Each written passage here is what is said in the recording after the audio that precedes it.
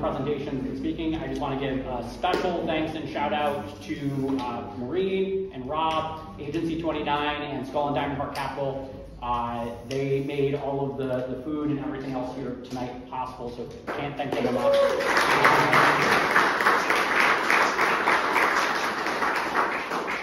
And of course, the commissary who helped put me in touch with uh, Dylan Toole, uh, Easy Eats Rock, uh, did an incredible job on the catering, so I hope you all enjoyed the food. Uh, if you ever need a caterer, contact Dylan Toole. His business cards are on the table.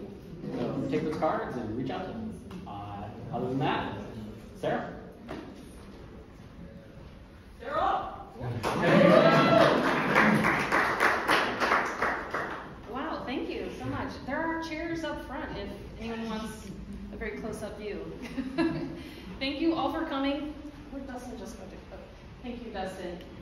He's really the planner, the mastermind behind uh, making this event come to fruition. Um, Startup Grind and Grow New York uh, have been collaborators for years, I believe. I'm uh, somewhat two years in with Grow New York team, but I think uh, the relationship goes back. And uh, they're often uh, supporters of our service providers to our startups that end up participating in the Grow New York competition. As well as Agency 29, and probably a number of you um, have had booths at our expo, and we appreciate that. Uh, also in our audience, as you've mingled, we have our mentors, or a few of our mentors represented. Uh, Paul's been brought up as our first time, what did you call it? I was first loser. First, we, we, don't really term, use that term, but uh, 2022 um, uh, $500,000 winning team, and we are grateful for him to come and present his pitch tonight. Uh, this event is uh, really a recruitment event in our hopes of word of mouth, if you know of a early stage, scalable, high growth potential startup in the food and ag space uh, that may uh, need a million dollars possibly to move the dial. Um, this is an opportunity for them to compete uh, for prizes that are funded uh, by New York State. Uh, the money is funneled through our economic development councils of the Finger Lakes, Central New York, and Southern Tier regions to support the operations of this competition. And we are in our sixth year. Uh, Dustin introduced me briefly. I'm Sarah Meyer, and I am the program manager. We have a longtime program director, Jen Smith. Maybe uh, you've met her or at least seen her uh, by attending our summit. Um, I wanted to bring you through our timeline and tell you a little bit about the program. I'll hand it over to Paul to give you a sampling of what a winner's uh, pitch looks like. And then uh, Dustin has made uh, gracious invitations to potential applicants in the food and ag space that are actually considering uh, applying to Grow New York. So we'll give this a nice test run and give you a little sampling of, of what we look for in our applicants. So as I mentioned, we are um, a, business competition for early stage, high growth potential startups in the food and ag space. Typically, those teams are three to seven years mature. Uh, they are no revenue to early revenue, uh, pre-seed or Series A funding rounds. We don't really have minimums or maximums. Uh, we do require the teams to have be an LLC or be incorporated. Uh, and then minimally, the teams uh, have some sort of prototype or pilot phase of their innovative service or product. And we're really looking for teams that have some sort of innovation that positively impacts the agri-food system of New York State. And ultimately, our winning teams, as well as our finalists, help maintain our leadership in the agri-food ecosystem here. So right now we are in our application phase, hence if you know of a potential startup or entrepreneur that uh, fits some of the criteria that I've mentioned so far, our applications are open. Uh, you go to our website or scan the QR code if that's visible. I can also provide that on my next slide. Um, but what, what they'll do is uh, start an application, they can revise it, work on it over the coming month, uh, and then ultimately submit it by 5 p.m. on the 15th. What happens between May 15th and August is that the uh, teams, uh, the applicant pool are narrowed through early phase judging. We usually utilize our mentors and key partner representatives to do some early phase judging for us, and that narrows it down to 20 finalist teams. Those 20 finalist teams then advance to our business development phase, which is pretty much an accelerator program. And they work one-on-one with our affiliated mentors, some of them are here tonight, uh, to help them um, acclimate to the Grow New York region and New York State as a broad. broad. Uh, it's a global competition, so some of these teams have never been to New York, and others are local and very familiar, but need uh, facilitated introductions to some key potential partners. They're looking to uh, build relationships with maybe manufacturers, distributors, co-packers, or uh, have introductions to grocery stores, or um, maybe even uh, following up with tours of farms and potential customers in that way. So they come to the region. We offer a stipend for them to visit for three days, uh, two nights throughout their 10-week business development phase. Uh, and that's more for the face-to-face, boots on the ground, get a sense of place uh, while they're here. And then ultimately, those mentors are preparing and helping advise the teams formulate their pitch. Uh, the pitch itself takes place during the summit. This year it's in Ithaca uh, on November 6th and 7th, and they give a 10-minute pitch with 10 minutes of questions in front of a seven-panel judge those judges select seven winning teams. There's a million dollar top prize, two 500,000 and four $250,000 prize levels. And these are stru structured as equity investments uh, based through uh, milestone agreements. So every team uh, sets different milestones related to what they pitch as to their impact they're wanting to make in the region. And ultimately, they work on those milestones and receive tranches of that prize money throughout the year following winning. And then they ultimately become ambassadors, very much like Paul is tonight, to give a sampling and a, wonderful representation of what uh, the experience of a winning team is like and what a pitch looks like and sounds like. Uh, his energy and enthusiasm is contagious, and I'm hoping that you find it very inspiring. I'm going to, uh, will advance. This is uh, the website I refer referenced. Uh, this is the email you can reach out to if you get the QR code. That's my name, and I'll be around afterwards for networking, but following you. All right.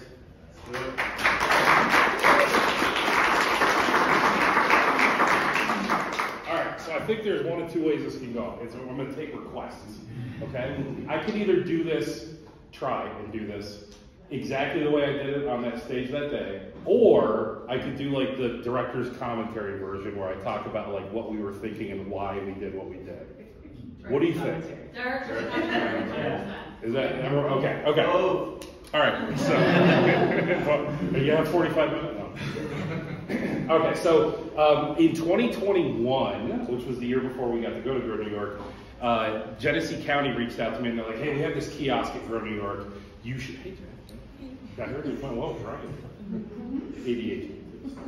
Um, Genesee County reached out and they were like, we have this kiosk at Grow New York would you like to come and be at our kiosk? And I went, and, and the traffic kind of died down of the like trade show portion because they were doing this pitch competition in the other room. So there's nobody at my booth, and so I just kind of wandered in there and sat there and watched these pitches.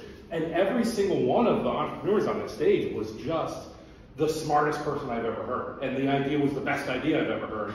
And every single one of them, I was just like, well, they won. And then the next one, I go, well, they won. And then the next one said, they won.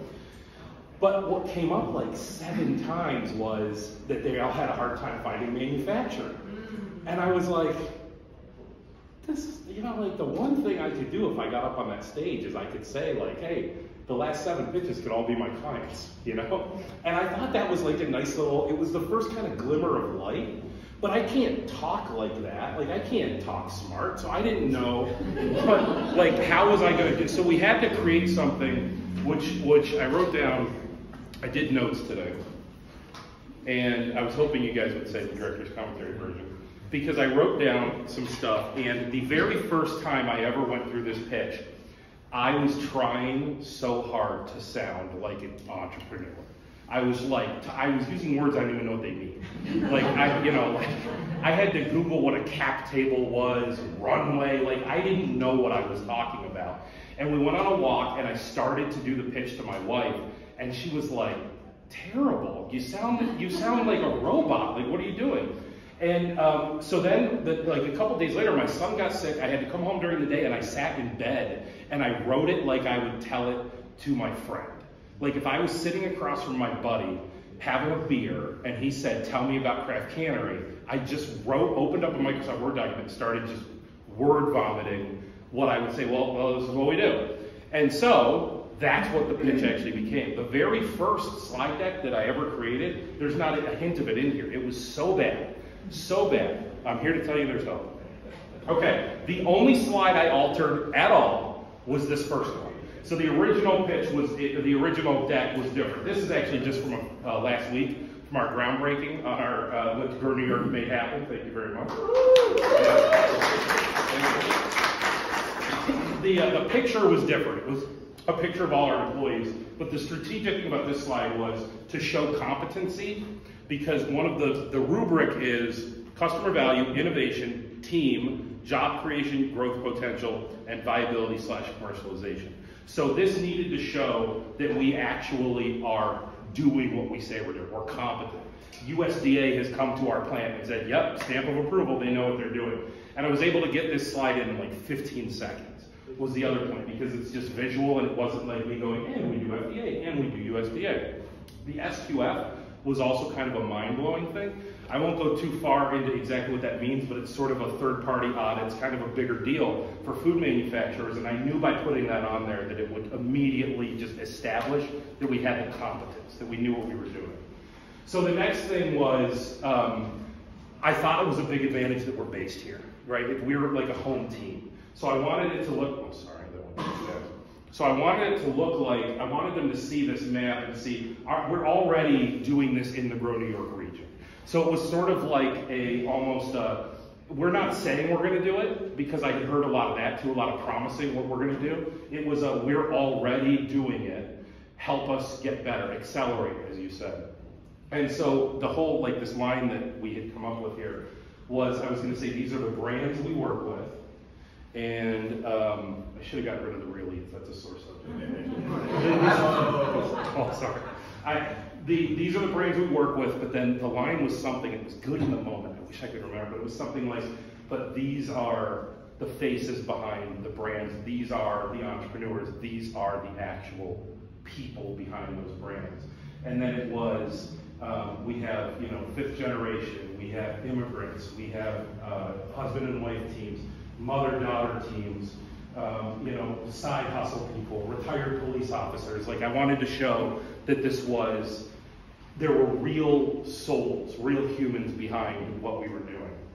So this was to get the, what's the actual customer proposition? And uh, this was a place where I kept on taking too much time. So I really, if I fumbled at all in the pitch, it was here because I was rushing. I was trying so hard to get through this but it was who's your target customer? And the target customer was startup entrepreneurs, somebody who just can't find a co-packer.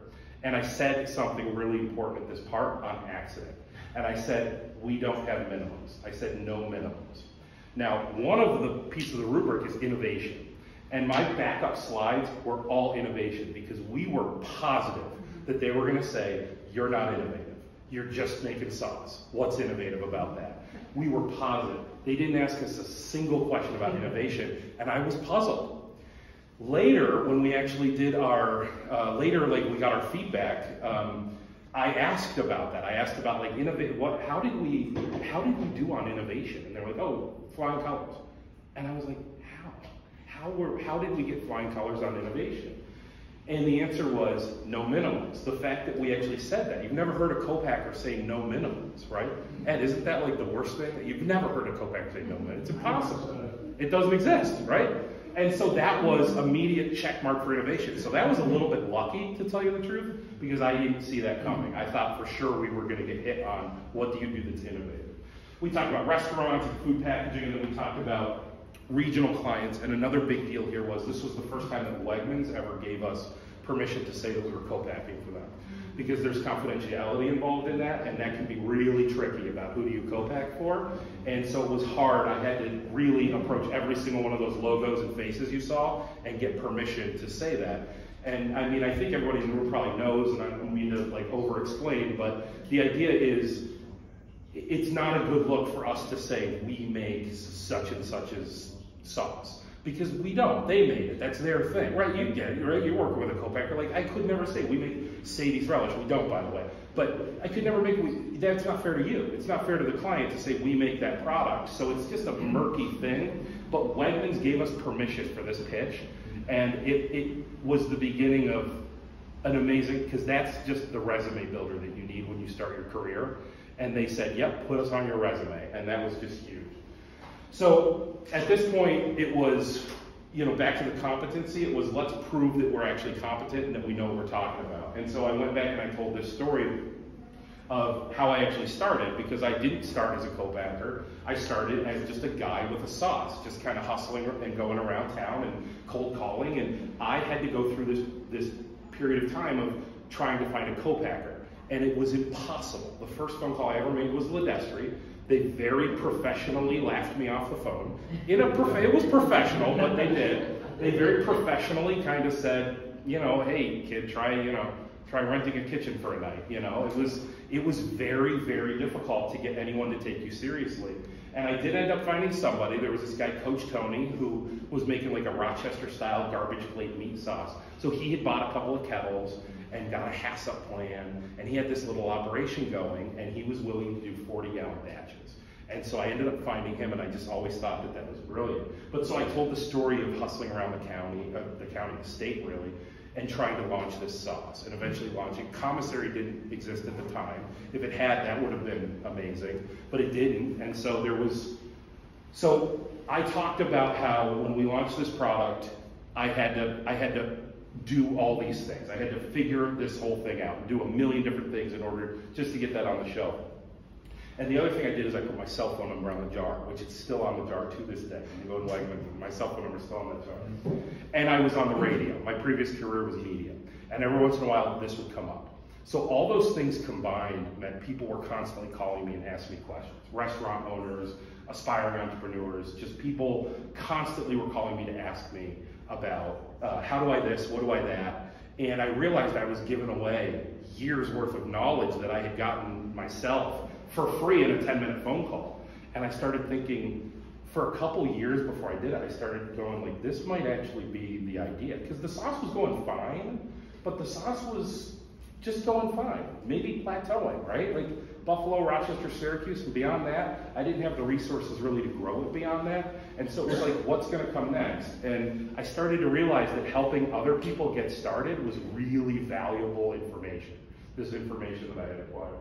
So accelerate, you had said it's like an accelerator. We were onto that. When we were going through New York, we knew that we were kind of in an accelerator program. It really felt like that.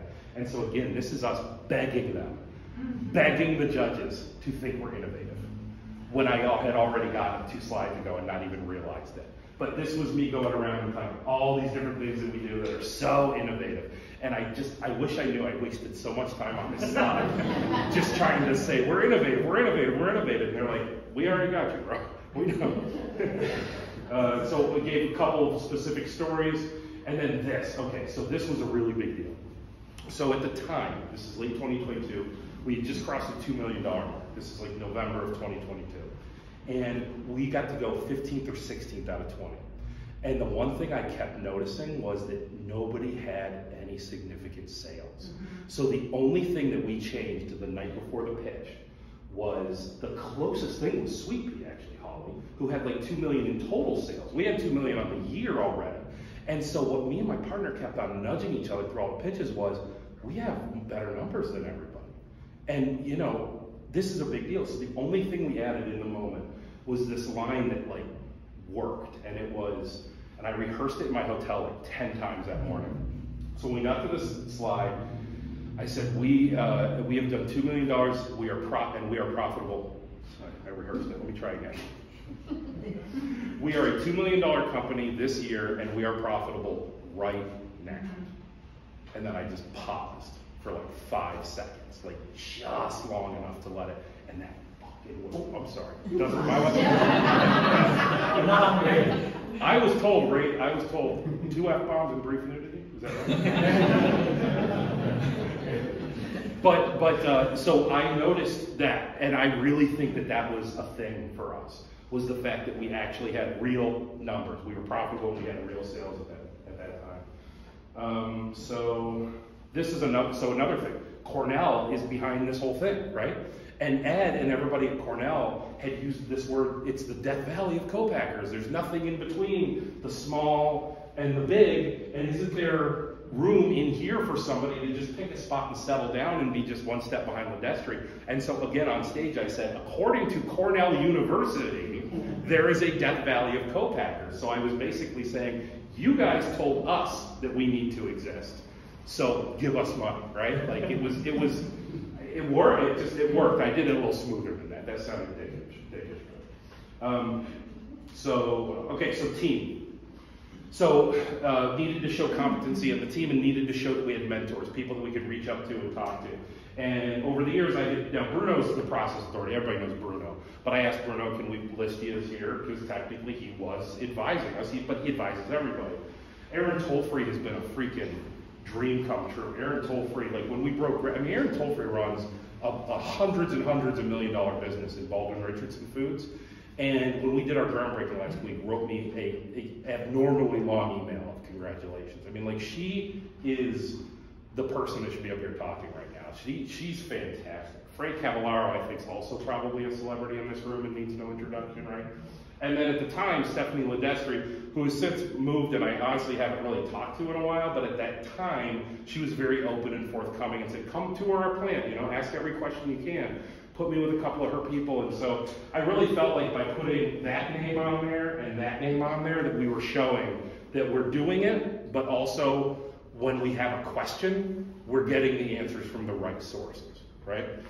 Uh, and then this was a thing about, this was a big debate about like, do we just say we want the million dollars? And in fact, some shit that we took in the questions was, I just skipped all this. I didn't even talk about this. I just said, with your $1 million, we will, blah, blah, blah. And one of the judges said, you didn't even say 250 or 500, so why would we give you that? You know, and I was like, I don't know.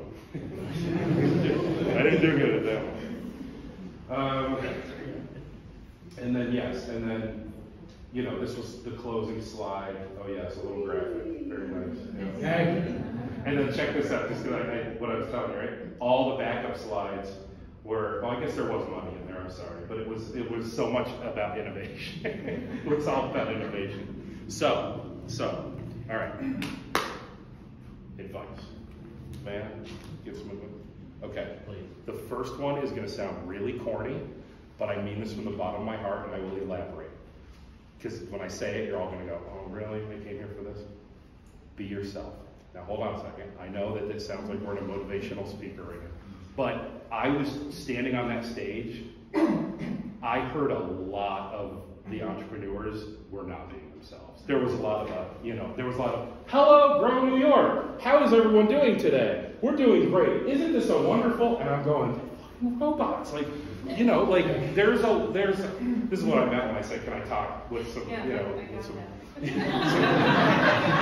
know, or there was like there was just like a lot of like there were people who clearly had been coached to like have energy, but they weren't naturally energetic, and so they're trying really hard to have energy, and it just makes everything come off, you know, not so genuine, and. Um, I don't talk with big words. I say um. At one time, I remember one of the coaches was like, never reference the slide. And like three times in the pitch, I was like, look at this, you know. but that's like speech giving 101. Like, don't don't do that. Don't say, look at this. But it was just who I am, and that's how I would have told it to Tom if we were sitting there having a beer, you know. And so the be yourself thing, I got up there, I spoke in my language, like I was talking to my friends, and I really feel like that worked. I because I was comfortable. I was just comfortable. Nothing made me nervous about being up there. Uh, because I knew that I wasn't going to go into anything that I couldn't just naturally go into over a beer with a buddy. Um, the rubric, the next piece of advice is, is those, it's just designed directly to the rubric. When you make your pitch, just take the rubric and make sure that you've hit the rubric. Every single thing should be what's on the rubric. Um, practice with real questions. So I did a bunch of this too. I got myself in front of some really savvy business people and I said, can I do my pitch? And can you fire questions at me? And that really worked. And in fact, saved us because one of the questions we got was was actually one that you didn't get to see because I changed that picture. But the picture was we were a bunch of white guys. And so, where's your diversity? And I had been asked that question in prep. Uh, I went to Dixon Schwabl where my wife worked and um, got to workshop it for like their entire management team and said, "Where's your?" They said, "We get that. We get that. So you need to be ready to answer that. Where's your diversity?" And so we could come up with an answer, a true answer, which was we're in Bergen, New York. This is who applies for jobs. This is who applies. But if you looked at the entrepreneurs we're working with, you saw a ton of diversity, right? But as far as who's actually coming to work for $20 an hour in Bergen, New York, it is white guys. I hate to say it, but that's who we're getting. But the, the who we're working with. Um, the, I put have sales. That's easy, right? Have sales. Just have sales. But uh, but that was clearly, I really think a big moment for us was if if you've got some sales for sure. There was a lot of pre-revenue, and the other thing was there's that like that you know that thing that every entrepreneur has, which is the well, we're not doing any sales right now, but we're going to do that. Uh-huh. you know that one. I was like, let's let's steer clear of the you know, the sort of the fake, like we're going to do. I know we only did $73,000 last year, but in just two years, we will be a $73 million company. And like, I'm always going, eh, all right.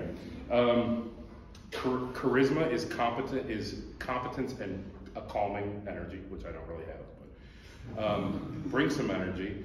And then, um, the last thing I had put, I already told you guys about innovation, but the last thing I said was what we did right was we had that really innovative piece about that we did no minimums, we didn't even know we had it.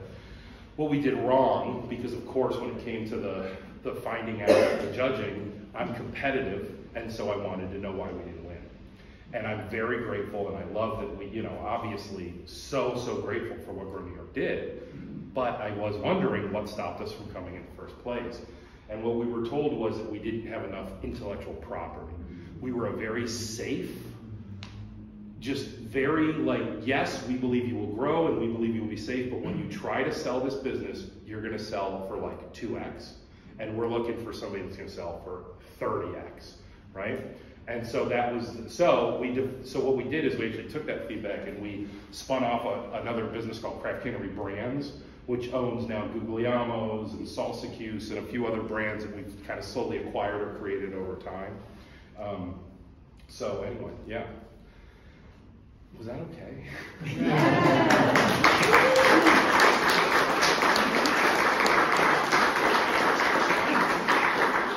so partially we, we let that run longer because that was amazing.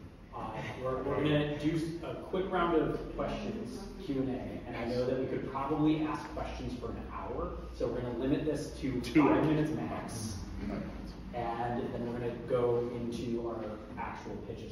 So, uh, and just as a heads up for those pitches, we're going to be 10 minutes on the clock and five minutes Q&A. I am so freaking happy that you guys didn't make me actually do that pitch because I don't think I would have remembered. uh, any questions? Yes, ma'am. Oh my God. Here she is. That's the promo.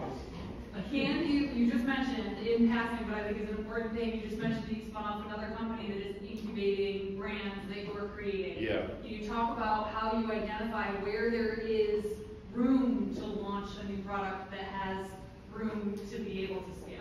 Yeah, so, um, yeah, so good, I don't know that we figured that out completely yet. But, so first was the obvious, just bring Guglielmo's in and make it, you know, part of the team. Because it for a while it was dirty, it was, not dirty, but it was weird, it was like a separate thing. So it was bring Guglielmo's in, and then what was happening was, some of our clients were building nice little brands, and then they would just like lose interest. They'd get into like Wegmans and lose interest. And I'd be like, well, you know, let me take over your brand, you know? What do you want for it? And then I would I would say, well, how about if we make your sauce for free, like next two runs for free? You know, you want ten thousand dollars for your brand? Okay, we'll do your next two runs for free, and then we own your brand. And like we've done that a couple times.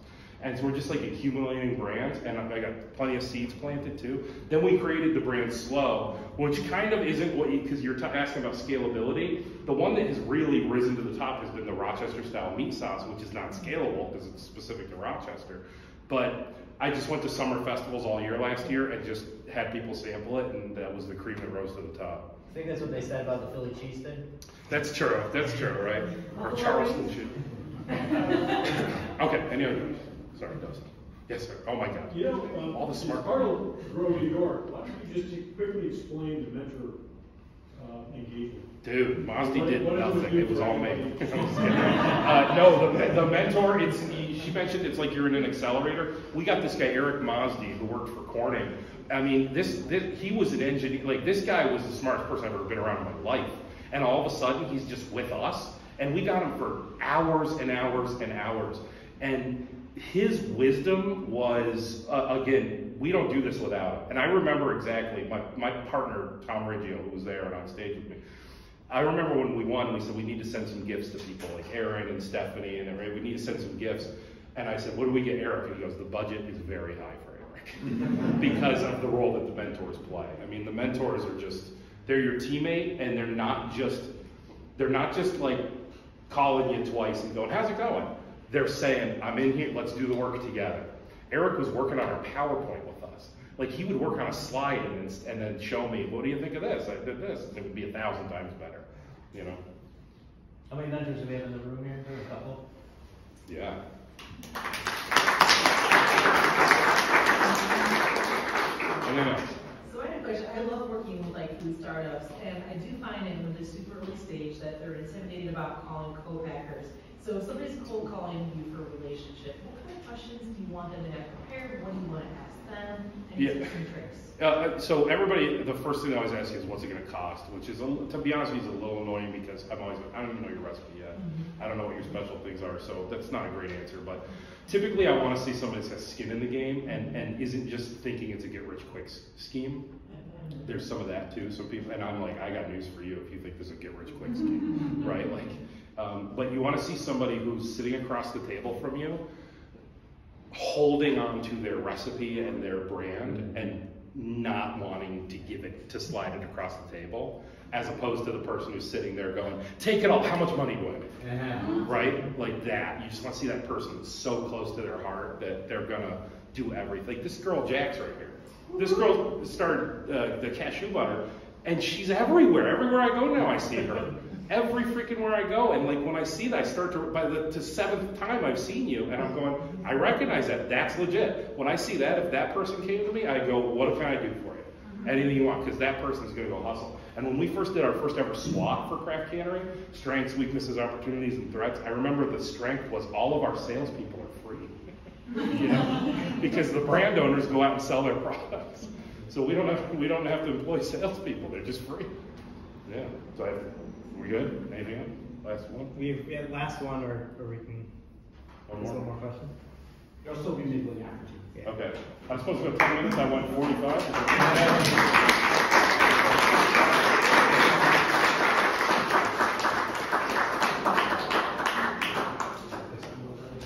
All right, next up is Boosh with Chula. Thank you, Dustin. Hello, everyone. I'm Bruce, and I'm here with my wife. Thank you again. Thank you. um, okay, let's start Chula. Um, I'm Ujj. Um, so came to this country as an undocumented in 2014, on August 15, 2014. And very next day, I started working as a dishwasher. That's where I exposed to the first time in my life frozen omelet that's been heated and served to a customer. and in my mind, what and then question, the genuine question in my heart was like, will I serve this to my kid? Will I serve this to my wife? Will I serve this to the people I really care? So that from that's where my curiosity to understand American food system began, right? The journey from there dishwasher now, uh, my wife and I, we own a grocery store and a restaurant cafe in Utica, New York. So, so far we've been trying to fall in love with this food problem, right? And trying to understand how complicated it is. And now I'm a graduate student at Harvard studying policy and business. And I'm seeing this from academic perspective. It's not individual, community, regional problem. It's a systemic problem. And that's where we were, okay, we got to do something, right? Because one day, we want to turn back and say, we did something to better the community that have accepted, accepted us as we are. right? So that's where Chula began. So we don't like, let me run through the, so that's where the Chula is. So Chula basically is, is a platform, it's a digital platform. So the, the mission is how we fight, how we can contribute to boost local food sovereignty, how we can boost local economics, how we can mitigate climate change, how we can cut down food waste, and on the top of everything, how we can build community, right? And that's where, with that mission, how we can build inclusive, local, sustainable food system. That was the vision we had, because we were keep falling in love with the problem that our food system is broken. And we cannot fix everything, but we try to make some positive changes. So, I mean, talking about the problem, we know, like, we should, if you look at the problem, look at the, look at the data, 92% of the adults and kids we process, we eat ultra-processed food, a billion dollar of food waste, climate change effect, and food security because we rely too much on outside food. So what we did, what we did to tackle this problem, we built a platform. So we built a platform two months ago and launched it in Utica. That's where we're running a pilot project right now. So this, we call it Chula. Chula means kitchen in Nepali, uh, Hindi, a couple of other languages. So what we did, first thing we did to tackle the problem was we built an app. So this, this, is, this is an app where we're trying to connect local farmer, local cooks, and a local consumer on the same platform. So this is, so far, we have, we have restaurant, restaurant to consumer, we have individual to consumer, uh, uh, individual cook to consumer, right? So now we were like, you know what? We need to, if we try to make positive change in our community, we need to bring these three stakeholders on the same platform and let them talk. So our goal was initial goal is like let them communicate because right now these are in three separate bubbles, and then big guys are taking advantage of all these like communication gaps. So we're trying to bring these three stakeholders on the same platform. So what we did was it's a commission-free app. We launched it two months ago. Uh, we have around 400 users, uh, restaurant and co individual cooks, and a couple of farmers on that. So it's a commission-free. Um, unlike DoorDash, Uber charges 30% commission. We are 0%. And then what we did different was it's a personal connection. Instead of a restaurant, like our restaurant is called Muju, instead of saying Muju, people see my face because it's more relational. We because we want to build community. Um, so it's flexible. So on a DoorDash, Uber Eats, like that uh, delivery app, people can cook can only list single orders, but on our app, people can list single order, catering services, and also meal plan. And we're trying to, you know, so sorry for the time crunch, but what we're trying to do is no kitchen, don't take a loan. So a lot of immigrants, what happened is like a couple, couple of people tell them, hey, you got a great food, man, you got to start a restaurant. And next thing they know, they take a loan, nobody's walking in. Right? So we were like, you know, hold on. You got the really good food, but why don't you use free app to build a attraction? And you have something so that your restaurant is going to run. And you know, you're not going to be in debt after two years. So that's our app part. So so let me briefly talk about how, how it's going to be sustainable. So the app has a tokenization. So we build our own tokens. So transaction happens in tokens we realize it has to be very secure. and we wanted to save processing fee that is going up every single year for our local cook and restaurant because I run the restaurant business, so I know. So now it's almost four or five percent on a credit card. So we were like, you know what? We'll build our own token system to process our own payment. So we build, we already build a token. Every transaction now happens on our app, happens on a tokenization. So it's in terms of security, it changes the whole language system to secure. Like we save the processing fee.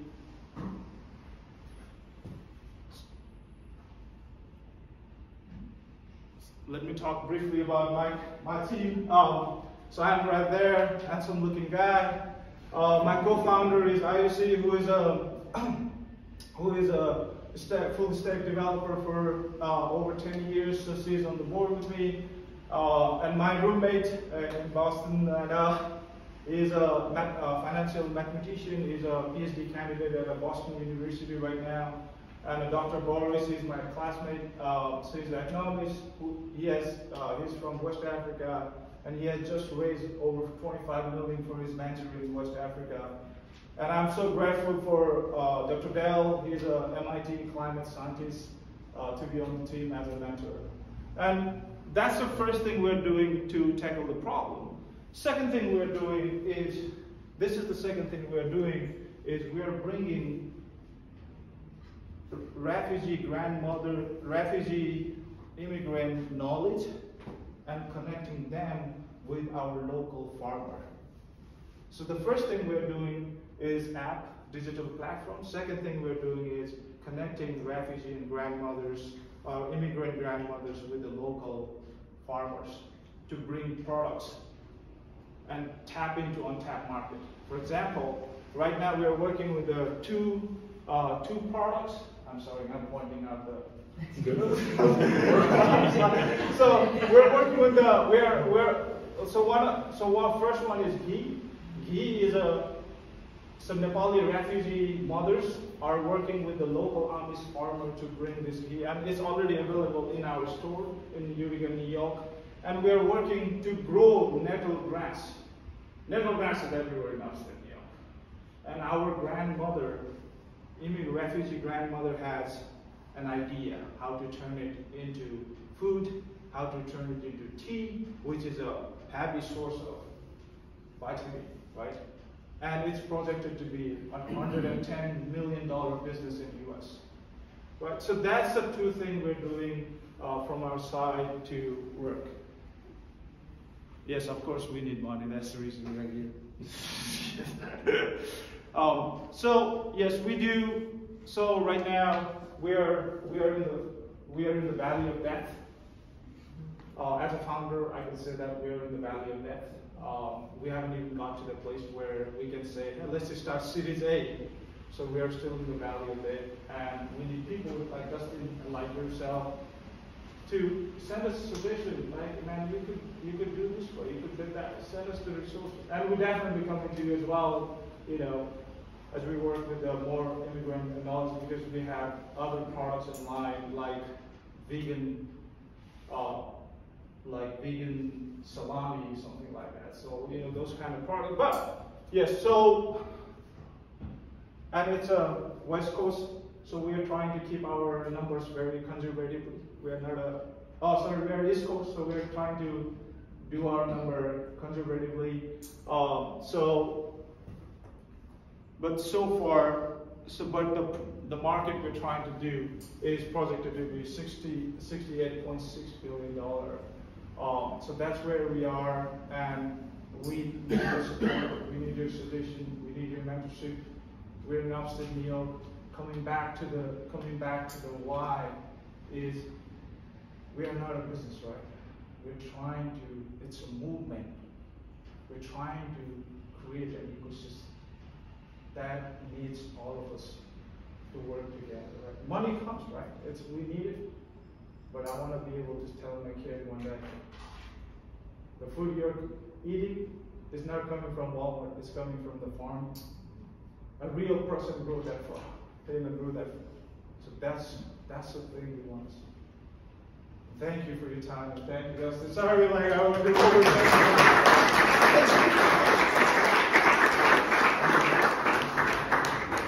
Minutes of uh, Q and A.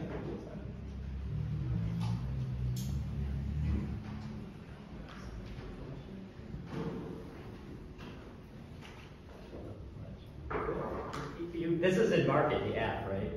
What's that? The app is live and in market. Yeah, it is. It is. It lasts for two months. Yes. What's the reaction? What kind of feedback are you getting from users? So feedback, uh, so people are happy, but at the same time, what I learn, I'm learning still. Uh, so whenever I talk about the local food, people always, people, especially founders, they're always like, how do you do this supply chain figure out? But when I go to people, it's not about the supply chain. It's about so let me, before we answer that question, right, we purposely put our uh, office apartment in the middle of the hood because we wanted to be there. So when I talk to people, they do, they are not informed that only this kind of food exists. And that's the reaction, and that's what I'm learning. So that I'm just trying to you an idea. Like, you know, people are like, oh, is this a thing? Or they thought, am I supposed to? Uh, they thought the food means only frozen food from the convenience store that they can buy with your food stamp. And I'm still in talk with a, as a matter of fact, tomorrow I'm visiting a farm, like, so I'm gonna pitch it to them to ask them to come to the board. So what, what I meant to say is like there, it seems like there is not much information to the people saying that they could have access to the fresh food, locally grown food. Farmer market is not a suburb thing. It's not limited to one race. You don't have to be rich to go to farmer's market to eat fresh meat. So that's kind of thing I'm learning. So that's a reaction I'm having. Are you like validating that things are, the people on the app, do they to go through any sort of validation that food's locally sourced, or like, is there anything like that? It's kind of validating too, but like, but at the same time, like for me, I try to, because I said in the beginning, right, I'm still trying to, I'm still falling in love with this problem. So I still spend a lot of time with people and try to see what could be done. Like, because when we launched, it was only single order. So it was a people who said, hey, why don't you add other services? Then we added up, then we ended up adding catering services, meal plans, so it was all people like kind of giving the feedback.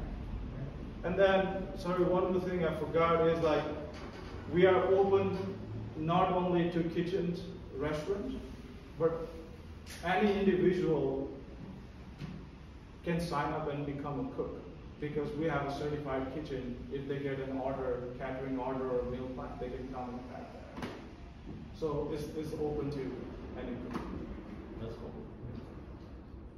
So I'm sorry for a long answer. We get time for one more.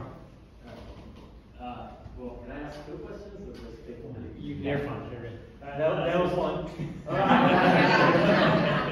I'm not guaranteeing I have an answer. Uh, So I guess question one, like, what type of strategic partners will you be working with, like policymakers or maybe like take look at masjid and you, you know, people, community, immigrant communities will find out, like, what type of partnerships would you be needing?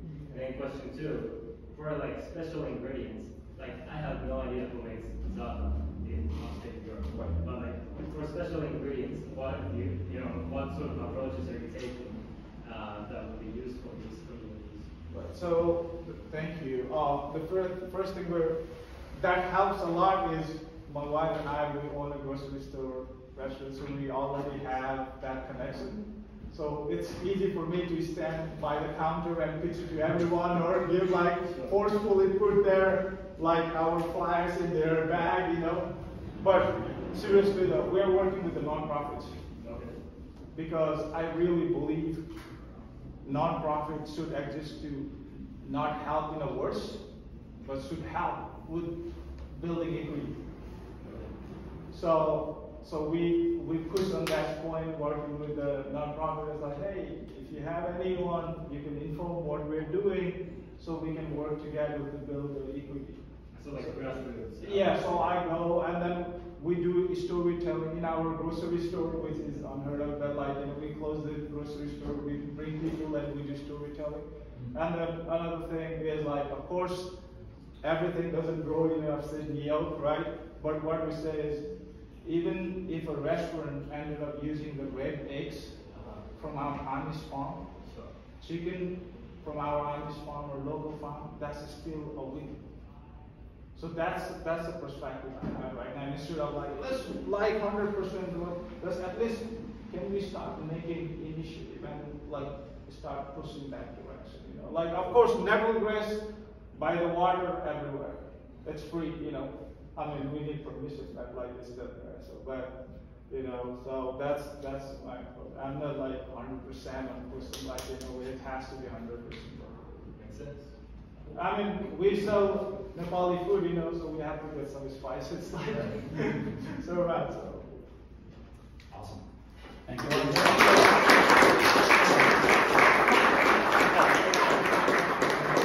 Thank you. All right, Sadie's. Oh, I thought we had one more person. That's you. You are the one more person. One, one more before me. I was gonna say hello, but Paul said we can't.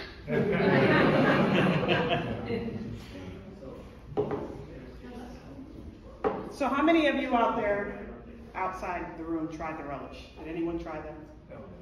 Did you like it? Yeah. Yeah, okay. So for those of you that did not, if you are a cabbage fan at all, please try it. Please try it. So my name is Mercedes Wilson, and I am the CEO and founder of Sadie's Relish. And I will can't point all day, so I'm gonna be all me. All right, you said where'd you go? You said swipe from mine. Space bar. Oh, there we go. So who is Sadie? I am a wife and a mother of four. I am Grace's granddaughter. Grace is the beautiful woman you see at the top standing in between my father and my late grandfather. Grace fed the community. She cooked. I, I was the kid that sat on her lap and ate breakfast with her, watched her wash the dishes while she started dinner. Grace cared about the community. She fed everybody. Um, we knew where to go when we were hungry. I'm a community leader. 2012, I was diagnosed, I'm sorry, 2011, I was diagnosed with stage two breast cancer. 2012, started a nonprofit organization that teaches young women how to advocate for their health and wellness. I realized how much I didn't know about my own health and wanted to take action to help other young people. I'm a television personality and producer and content creator. I want so bad to point at the bottom picture, but you guys see it. Um, I do food segments for our local ABC affiliate in Buffalo um, called Recipes for Seven Life. And I invite people in the kitchen with me to cook recipes that have a story behind it, that are delicious, that the community can grab a hold of, and hopefully cook with their friends and family. So the products that we offer that are out there, we have a mild and a hot relish. Um, and it's cabbage based. It, cabbage is the main ingredient, although there's peppers, onions, other ingredients, vinegar based. Um, this relish is good. It's good, folks. It goes good in or on things. And we are also coming out with some pickled jalapenos. That is, that is on deck. We are working on that now. Um, as you see, Sadie's is MWBE certified. We are in Erie County and we are working on federal, so that is coming. Market opportunity. The condiment business in the U.S. is an $85 billion market. The number of food and beverage retail stores in the U.S. is 154,000. I love this number. New York is the second largest producer of cabbage. It produces 14.7% of the United States total production of cabbage. I mean, I love that. I love that because that's right here. That's us, right? That's us. And working with regional farmers for all the vegetables in this jar is our goal. So on top of cabbage, there's red pepper, orange pepper. Nobody has a pen and paper, right? Don't be writing down my recipe. there's red, orange, yellow pepper. There's sweet onion. There's jalapeno. I mean, there, there's other vegetables, but the goal is to have them all. I mean, all it represented in New York. And also the demographics. So we've done through customer discovery tons of demos, talking to hundreds of customers. We know what our demographic looks like. She's employed, female between the ages of 35 and 55. She's married or in a relationship. She has children for the most part. Influencer of the household. She cooks for the household. Income between 37 and 70,000. Now that part I really love because um, in Buffalo, we had, most of you know about the, the, the mass shooting that happened at Tops. Jefferson is our number one store. Jefferson is our number one store. And it goes from all across Western New York, but we have support from everyone. I love that. So problem and solution. Problem, flavor, fast food. Raise your hand if you've ever gotten a nutritious meal from McDonald's. Anybody? So void of fast food, void nutrition. We're busy people. We are busy, busy, busy. And lack of food transparency. 72% of people care about what's in their food. This customer cares about it. So the solution, flavor with a touch of nostalgia. Again, that age range is 35 to 55. So nostalgia means a little bit too. Gut health, no preservatives. There are zero preservatives in this. The only thing keeping this is the vinegar. There are zero preservatives. It's a fast-growing market projected to grow from 85 billion to, in 2022 to 135 billion by 2030. And on every jar, if you want to grab your phone on the way out, scan that QR code. Food transparency is important to us. Right now, you will see what country each vegetable comes from. At some point, we are going to whittle that down to the farm. Food transparency matters. Current team, it's myself, and then we have Chelsea, who's part-time operations manager. We have Affinity Group, who's our sales broker for the Northeast. River Valley Distribution. PSP Raw, our online shipping partner, and Fresh Fruit Up, who is currently our co-packer, but Paul and I are going to talk to. Oh, yes. Yep. Strategic advisors, these are so important. Now, there's more than this, but I just listed a few. Bill Chido, who's the president at Affinity Group, a, a broker firm. Zachary Snyder, he knows the food business and marketing. Uh, Peter, UB Cultivator Buffalo, and then Olivia, who's a part of the, uh, she's the CEO of Upstate Venture Connect. Partners and collaborations, I am so proud of this. So we are currently in Tops, Market 32 by Price Chopper, Wegmans, and several other grocery stores. So Taste of Buffalo, we are the relish at the Tops tent. Taste of Syracuse, we are the relish, and I'm pointing, sorry Paul. Um, the Buffalo Bills games, if you were in any club suites this season, you saw Sadie's. If you went to a Sabres game and you were in a club suite, you saw Sadie's. So super excited about that. Um, Sahlen's, we just did a cool promo with them and you'll see some really cool stuff, um, partnerships, promotions coming up with them this summer. And then of course Top Seeds, Sadie's those really good Top Seeds. Competition. I like this one. Um, so Sadie's, I, I, found five or six other competitors. Um, as you can see, we check all the boxes. Could have done that on purpose, could have not. Um, but we're in grocers, we're online.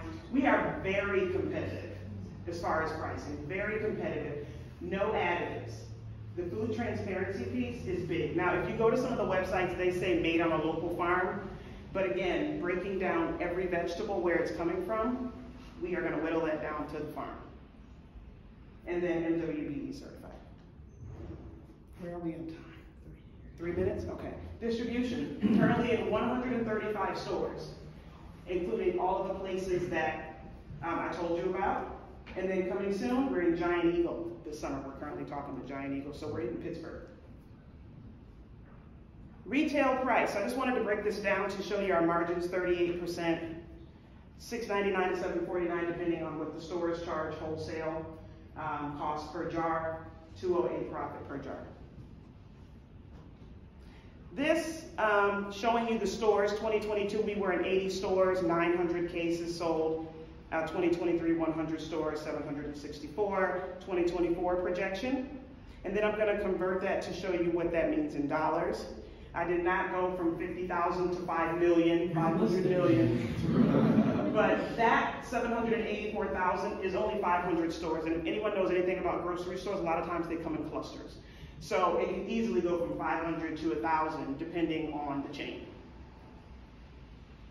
Capital budget, three hundred thousand for the next stage of growth, eighteen-month runway, and then in year one, we wanna hire, we need help. Operations partner, food tech. If there's nothing else that Sadie's will do, it will, we will remain transparent and the food will keep its integrity. Um, no additives. Sales reps to work along with our brokers and then contractors. Demo, demo, demo, demo. If they try it, they buy it. If they try it, they buy it. You have to get it into the mouth of customers. Key marketing. I love marketing. I'm in TV, brand awareness, demos, geo-targeting, earned press, food shows, love food shows, social media and collaborations. Collaborations make the world go round. If you think you are a small business and you will make it by yourself, you are wrong. Um, and then giving back. Last year, we gave 150 cases to Feedmore. We believe that financials, it, it, it should not be a reason why someone can't have savings, so we always look to give back. Customer testimonies. I love the last one. Literally obsessed with Sadie's. I ate a jar a week and had had to get another. Okay, I bought two more. I'm putting it on everything, but I am also happy to just eat it out of the jar with a spoon. That is the best way, in my opinion. And then exit strategy. We want to do it with integrity. Five-year plan, mid-size, B Corp certified uh, company acquisition that will uphold values and keep the com- and keep economics flowing in New York. It's important to us that the, that the money stays here. And then contact. How'd I do? Perfect. Yeah.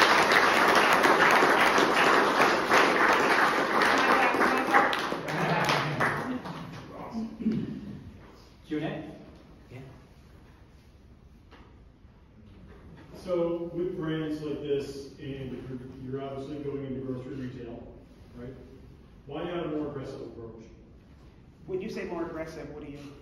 Kroger's, I didn't see the word Kroger's, um, Albertsons, um, Walmart, you know, any of the big retailers. The honest answer is not everybody's a good fit. Some stores that you can try to go in, I would be losing money um, to have it in. So thus the Walmarts. I mean, I'd be losing money per jar. It just wouldn't be smart at this point, unless you had an awesome co-packer, you know. Um, but um, we are we are going after those. We are going after those. So being being new, a lot of it is proving yourself. A lot of it is show. A lot of it is sales. It's it's developing relationships. It's having. Do you know someone in Albertsons? I was going to say, if you know someone. Um, but no, I work with a broker, and, and those are places that we are pursuing. So those are to come. Awesome presentation, again, with Seymour.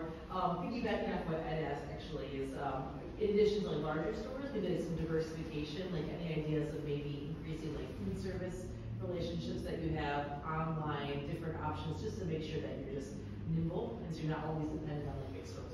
Yeah, we are online, Yeah. um, and that is a part of the budget for ramping that up. So we are online. That's, that's a great one. Thank you for that. What's the shelf life of the product, and do you have other products in the wings ready to hit the market and go to the same customers that are buying your relish now? Shelf life is two years, um, but with the vinegar, I was told by Cornell that it can be forever. Um, but, but we put two years, like, would you buy something that said never expires? I wouldn't. So we put, uh, two years. And your second question? What's your next line Oh, of product to yes. follow up on this one? I'm actually going to pick up our sample from our co-packer tomorrow of the next line. So when I submitted the relishes to Cornell, I actually sent in four things that we have approved waiting. Um, so tomorrow I'll be going to pick up our pickled jalapenos. So that's what's coming next. Are you in the, are you in the kimchi line now? Are you a fermented food? Are you technically Yes, a fermented yes, food? yes, it is. That kind of opens up a whole other market Yes. as well. Outside of New York and going to Pittsburgh, do you have other geographies that you're looking at? uh, Based on keeping everything local and what that looks like in terms of transportation? To be honest, I'd like to grow more in New York as well. Um, bloom where I'm planted. Um, there's, there's so many more spots that we can hit in New York. Um, Pittsburgh, Ohio. Um, but that's, that's our immediate, yeah. What's determining pricing like for an item like this? Are you trying to be the cheapest or do you want to be the most expensive on the shelf? I know you're trying to get a target customer in the beginning, Yeah. just trying to match every other relish and how other advantages. With this product, um, we are pretty much on par with the others, and a lot of the others are more expensive, just because it, there's, there's so many different ingredients in it. If it were just cabbage, it could be way lower. But the thing about the relish, have you tried it yet? I haven't tried it, I haven't tried this. Oh, you gotta try it. Because you'll see, it goes, it goes good in or on. So it's not just a condiment, I call it an accoutrement. Um, so, I mean, if you're, if you're having a barbecue, you can put it on your hot dogs or your brats. If you're entertaining, you can put it on your charcuterie board. If you're making spaghetti sauce, you can throw it in your sauce. So it's in or on, and it has eight different ingredients in it, so the pricing will always be a little higher. Thus, why the, the slide you saw with the competitors, everybody's there because there's so many ingredients. Did I answer your question? Yeah, it sounds like kind of cost-based pricing rather than value-based pricing. Yeah. You got time for one more? Uh, I was just gonna add that comment, but when it comes to pricing, like, you could consider, like, if you're differentiated, you could command a higher price, so like, as you, your brand established, you don't have to worry about being lowest, I guess, because. Yeah. Just food, uh, Yeah. Mercedes, you might have mentioned this before, but as you were getting the company up and running, what kind of resources in New York did you utilize? You mentioned you brought four products to Cornell. Was Cornell um, imperative? Like, who are the key players that helped you get this product out? Um, I bother the folks at Cornell a lot. I took my acidified um, foods course there. Okay. Um, and all of my products there. I'm, I'm actually, when I pick up the jalapenos, I'm mailing them out to Cornell tomorrow. Um, I had mentors in the, in the food space in different areas, like the broker uh, company that I go through. So I have different mentors, but I did um, own the folks at Cornell quite a bit. Yeah. All right.